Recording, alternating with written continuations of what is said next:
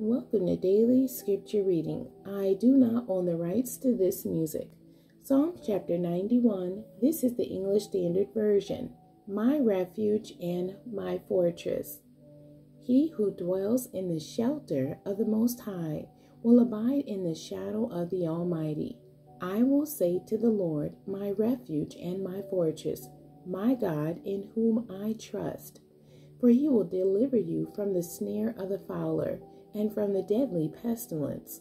He will cover you with his pinions, and under his wings you will find refuge.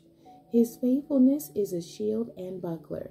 You will not fear the terror of the night, nor the arrow that flies by day, nor the pestilence that stalks in darkness, nor the destruction that wastes at noonday.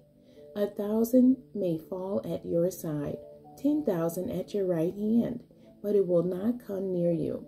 You will only look with your eyes and see the recompense of the wicked, because you have made the Lord your dwelling place, the Most High, who is my refuge.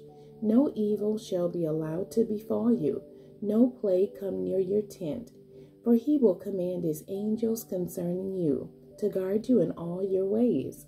On their hands they will bear you up, lest you strike your foot against a stone.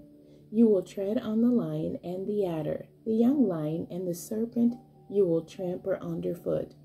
Because he holds fast to me in love, I will deliver him.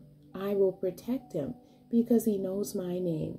When he calls to me, I will answer him. I will be with him in trouble. I will rescue him and honor him. With long life, I will satisfy him and show him my salvation. The end. God bless you and thank you for joining me today.